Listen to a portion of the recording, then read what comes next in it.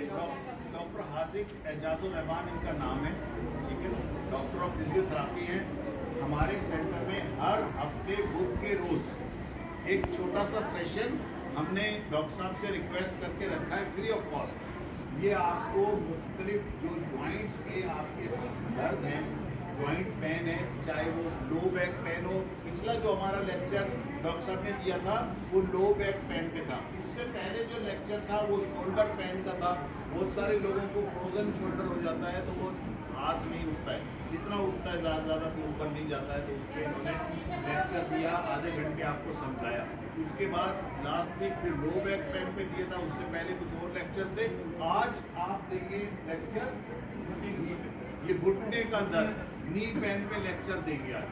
ठीक है? तो नी पेन के बारे में आपको कोई सवाल भी करना हो तो डॉक्टर साहब से कीजिएगा और ये डॉक्टर साहब जो बताएँ उसको तसल्ली से सुन लें, समझ लें। ये बड़ी काम की चीज़ें होती हैं और कोई चार्जेस नहीं लिए जा रहे आपसे। ठीक है जी? ये डॉक्टर साहब अभी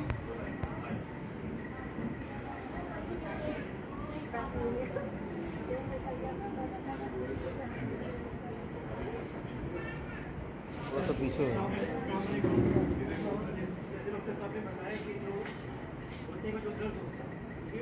बात पीछे आज आपको मैं कुछ चीज़ें बताऊँगा, कुछ मैसेज बताऊँगा, जिससे आपको का दर्द कम हो जाए। दर्द ठीक है तो आप थोड़ा देख लें।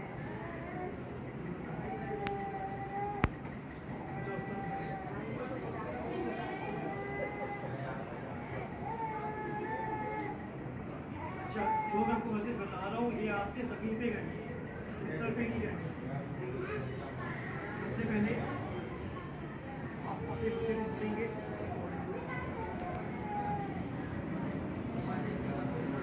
अच्छा वर्जिश में आपको जो बता रहा हूँ, आपके जिस घुटने में दर्द हो वर्जिश आपके दोनों दोनों पाँव में करनी है मतलब बता इस घुटने में दर्द हो रहा है तो आपने उसमें भी है दोनों पे आपको करना सबसे पहले आप क्या करेंगे? इस टांग को उठाएँगे टांग को ऊपर दिखाएँ।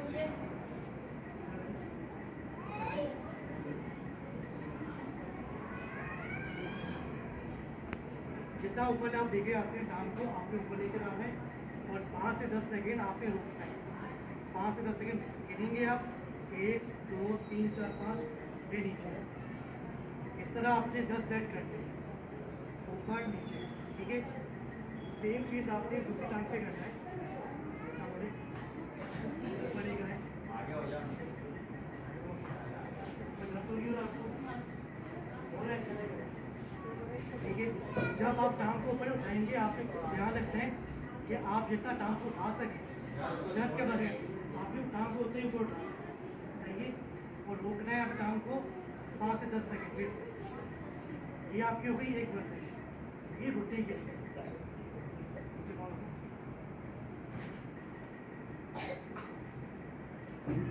दूसरी वर्जिश के लिए आपने घर पे कोई टॉवल लेना है तो लेना। ठीक है?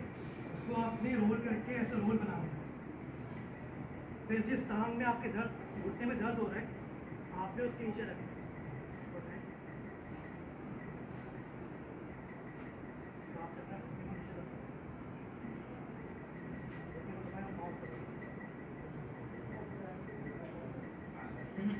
जैसे आप घुटने को दबाएँगे, आपका ये जो पार्ट है, ये एडी ये हल्की सी ऊपर आपने ये दबा के वही पाँच से दस सेकंड आप रुकेंगे, फिर आप छोड़ेंगे। करेंगे। एक, दो, तीन, चार, पाँच इसी तरह आपने दूसरे भी करना ठीक है, दोनों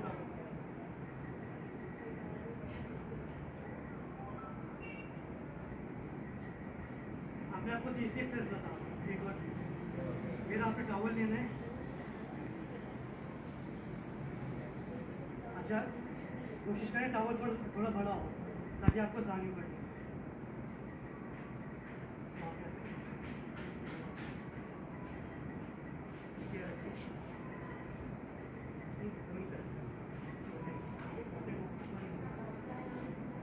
जब भी आप वर्जिश कर रहे हो पीछे आपको टेक लगा दें, ताकि आपके ऊपर सारी हो सही है?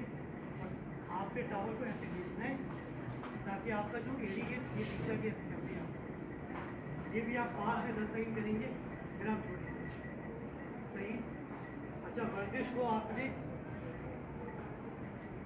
हर वर्जिश को आपने दिन में कम से कम तीन दफ़ा करना और जब एक दफ़ा करेंगे तो आपने दस दफ़ा के सेट करना सही है तो ये तीन वर्जिश आपने लेट के करना ज़मीन पे करना है इसके अलावा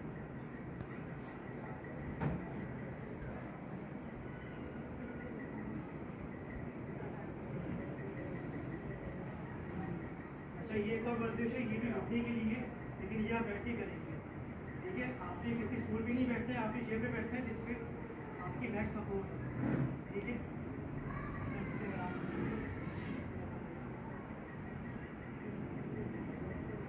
ये चीज़ भी आपने ऊपर डालना है पाँच दस सेकंड रोकेंगे, फिर आप छोड़ेंगे।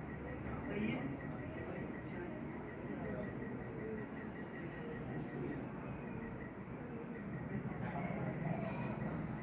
रहे जो भी आपको एक इस कोई मसला हो, लेकिन वर्जिश आपने दो टांगों पे करनी है। है? तो ये कुछ वर्जिश वर्जिश एक्सरसाइज होती है। जिससे हमारा जो घुटने का जो पेन होता है, वो कम करती है, मदद करती है। इसके अलावा कोई और सवाल कर आपको जो मैंने बताया कुछ नहीं है जैसे डॉक्टर सुबह ही जैसे उठने के साथ ही पहली वर्जिश कर सकते हैं। सुबह उठते ही जैसे बिहार में नाश्ते जी ये कोशिश करें कि जब भी आप वर्जिश करें ना आपने आराम आराम से करें। सुबह सबसे बेस्ट टाइम होता है सुबह सुबह में करें खाली पेट करें। खाली खाली पेट करें। सुबह के वक्त करें लेकिन आहिस्ता ऐसा करें। ये नहीं कि बहुत ज़ोर ज़ोर से आप कर रहे हैं जल्दी नहीं करें।